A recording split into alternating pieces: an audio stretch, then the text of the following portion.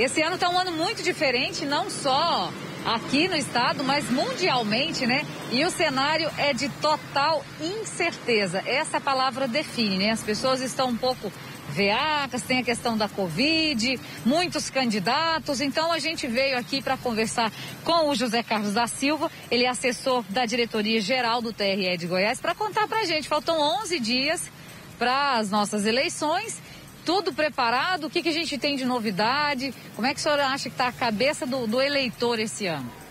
Essa é a nossa maior preocupação. Essa Covid tem mostrado para a gente que a gente tem que ter um cuidado em mexer com o sentimento das pessoas. E os eleitores, os próprios candidatos, não têm sido diferentes.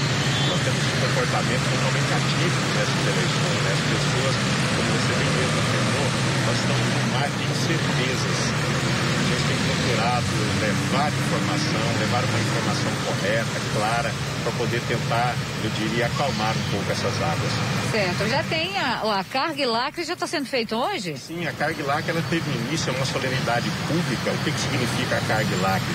É inserido, é o candidato ir para as urnas, onde tem a foto, o nome, o número dele, onde ele passa a ser uma opção né, no dia da eleição constante. É importante deixar muito claro que é uma cerimônia pública em que as pessoas podem participar, as autoridades são convidadas, o Ministério Público, membros da OAB, né? Todas essas pessoas são convidadas para participar dessa cerimônia de carga Certo. Oi, Mariana. Você já decidiu o seu candidato, Mariana? Não pode falar, né? Não vamos comentar. Mas você já decidiu votar. o seu, não? eu nem sei se eu vou votar. Como é que vai ser que eu não voto em Goiânia, voto longe? Não sei se vamos estar de plantão aqui. Vamos ver. Ju, a gente estava com uma dificuldadezinha para ouvir o entrevistado, está entrando um pouquinho de áudio ambiente. Enquanto a gente tenta arrumar, queria até que você mostrasse para a gente aí onde você está. É uma praça tão bonita, um pessoal caminhando aí, já está um calorão nesse horário, né? 21 graus, o sol já forte aí. Ah, vou te mostrar um pouquinho da praça. Magrão, a gente está com um pouco de ruído, de som ambiente no, no microfone do, do, candidato. Vou pedir para você mostrar aqui a praça. Mariana quer ver como está a nossa praça. Olha que coisa boa. Quanto a nossa Goiânia é bonita, quanto a nossa Goiânia é maravilhosa, né? As pessoas se aventuram fazer caminhada, uns estão indo para o trabalho, mas está todo mundo bonitinho, viu, Mariana? Todo mundo de máscara, você viu? Pois é, todo mundo bonitinho. Agora 21 graus em Goiânia, máxima oh, de 34. Acho que agora regularizou o nosso áudio aqui. Vamos ter um calorão hoje. Vamos lá, então, falar de outro assunto quente, que são as eleições. Tá certo. É, professor, conta pra gente aqui, fica. Hoje a gente tem 15 candidatos, né? Isso não confunde um pouco o eleitor, não deixa a situação um pouco mais indefinida? Não tenho dúvida nenhuma. Essa quantidade de candidatos é outra coisa que tem contribuído para essas incertezas, né? É uma tentativa de retirar os velhos caciques da política, vamos falar assim. Ela é saudável por um lado, né? Que quanto mais pessoas participando, só que o, o, o eleitor nessa situação se perguntar o nome, de, às vezes, de quatro candidatos, eles não vão saber dizer. É, é muita gente. Vamos muita falar agora de título. Quem regularizou, regularizou a segunda via foi até ontem, né? Hoje já não dá mais. Sim, a, a emissão de segunda via não é necessariamente uma condição para a pessoa votar. Se ela sabe onde vai votar e ela tem um documento de identificação hábil com foto, não impede de votar, não conseguir obter a segunda via. Mas a data encerrou-se ontem. Juliana. Sendo a questão agora da Covid. Quem tiver com Covid, vota ou não vota? Tem alguma preparação especial ou não? Olha, é importante a gente deixar bem registrado que quem está suspeito de Covid ou está com Covid, não existe uma norma proibindo que essa pessoa que vote. Mas a orientação, a gente tem procurado fazer esse trabalho, pedir para pessoas que não compareçam no local de votação e justifique o seu voto, né? Nessas condições. É o melhor para ela, é o melhor para a população.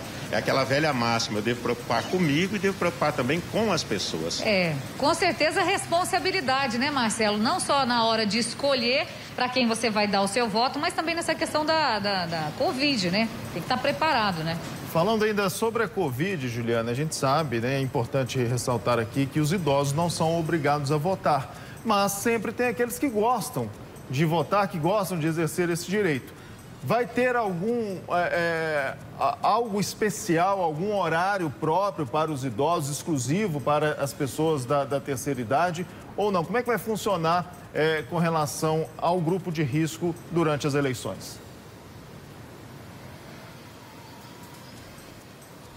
Tá certo. O Marcelo Vidal do estúdio, ele está lembrando que muitos idosos não têm obrigação de votar, mas gostam né, de ir lá, de exercer esse direito, tudo, gostam de contribuir.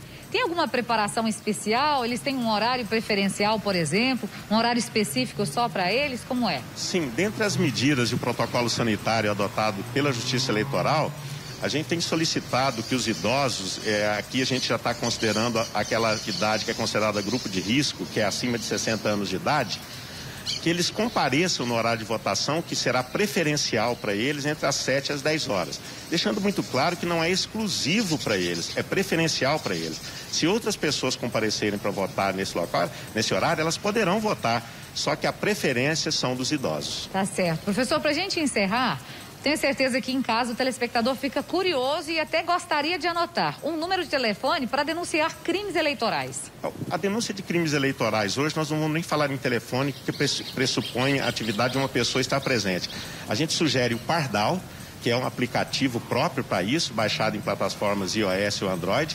É o eleitor também participando da fiscalização e o próprio site é, do TRE, o próprio site do TRE também está apto a receber essas denúncias.